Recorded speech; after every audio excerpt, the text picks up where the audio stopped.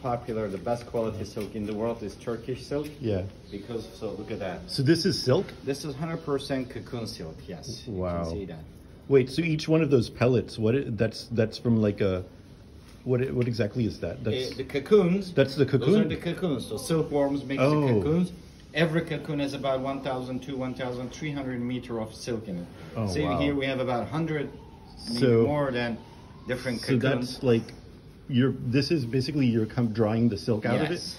Yes. Now we are going to see what he's going to do. Yeah. The process he makes the silk and after he get a clean beginning and he's going to start to roll them. Oh. He needs a clean.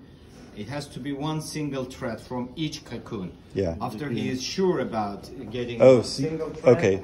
then he's going to start to bring it here. Okay, so you basically okay, you're getting so he's basically drawing the silk out Yes. of all of them all together. Yes. So all together will be uh, spinning to that uh, roller here. You at Oh here? wow, that's so interesting.